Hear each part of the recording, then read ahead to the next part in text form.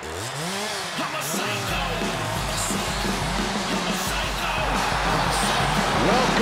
to the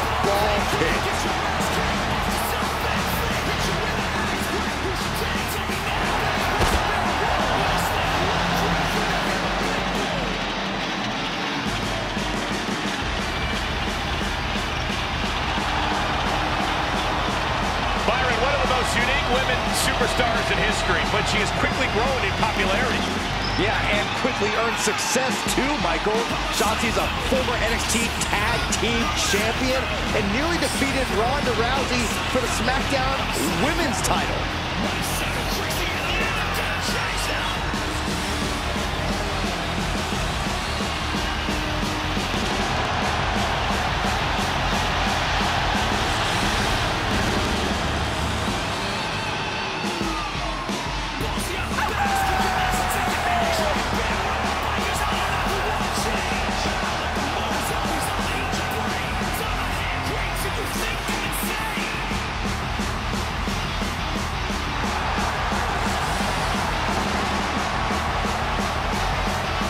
Not afraid to fight, knows how to survive.